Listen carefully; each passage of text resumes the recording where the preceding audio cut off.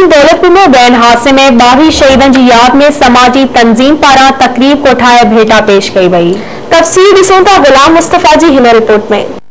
दौलतपुर हादसे में शहीद थियलु ॿावीह ॼणनि जी यादि में सिंध मुंजी अमा फोरम तरफ़ां तैज़ती मेड़ाको कोठायो वियो जंहिंमें शहीदनि जे वारसनि शहरनि वॾे अंग में शिरकत कई शहरनि पारां शहीदनि जी तस्वीरनि जे अॻियां गुल निछावर करे मेणबतियूं ॿारे शहीदनि खे भेटा पेश कई ऐं शहीदनि जे रूह खे सवाब लाइ दुआरी वई आवार्यूज़ सां ॻाल्हाईंदे मुक़ररनि चयो त छह साल अॻु ई हावॾारींदड़ हादसो पेश आयो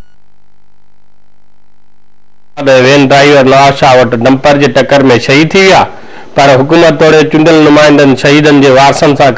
वायदा विसारे छाया अज को जो प्रोग्राम हो अस दौलतपुर में जो वैन हादसो थो जैमें बवी जणा अस मासूम शहीद थे उन्हनि भेटा जन अस ये प्रोग्राम रखियो सिंध मुझी अमा फोरम तहत असाखा अज खां अॼु ताईं बि उहे शयूं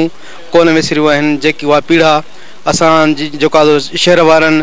प्लस में वालदननि जेकी आहे सो शहीदनि जो ॾींहुं मल्हाए रहिया आहियूं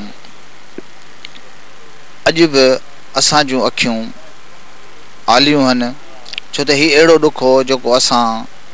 विसारे न सघंदासीं ज़िंदगीअ जे आख़िरी लम्हनि ताईं बि हीउ ॾुख असांजे दिलि में हमेशह रहंदो हीउ जेको सानयो आहे हीउ माना विसरजणो न आहे असांखां हीउ विछड़ी ज़रूरु विया आहिनि पर असांखां विसरिया ऐं विसरंदा बि छाकाण अहिड़ो आहे